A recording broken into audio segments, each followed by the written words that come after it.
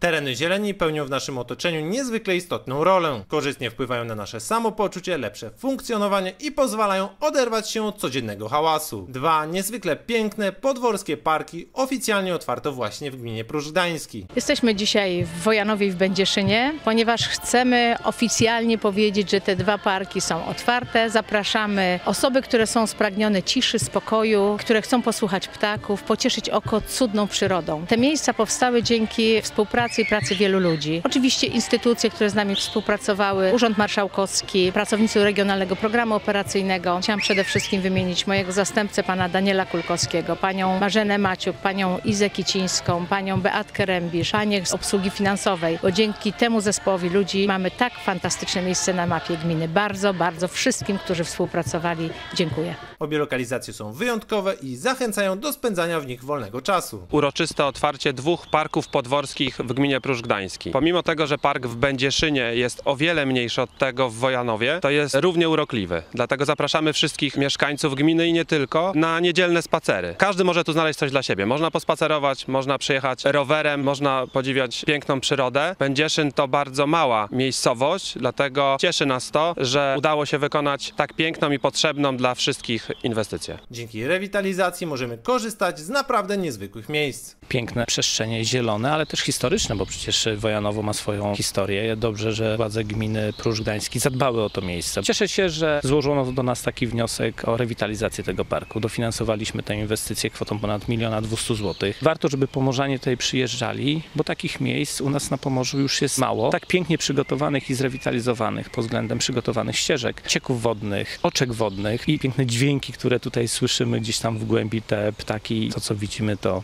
naprawdę serce rośnie. Piękna pogoda sprzyja do częstego odwiedzania tak wyjątkowych miejsc, w których oczarować mogą nie tylko widoki i świeże powietrze, ale i właśnie śpiew ptaków. Atmosfera panująca w parkach Wojanowie, jak i Będzieszynie jest magiczna, dlatego zachęcamy do jak najczęstszych odwiedzin.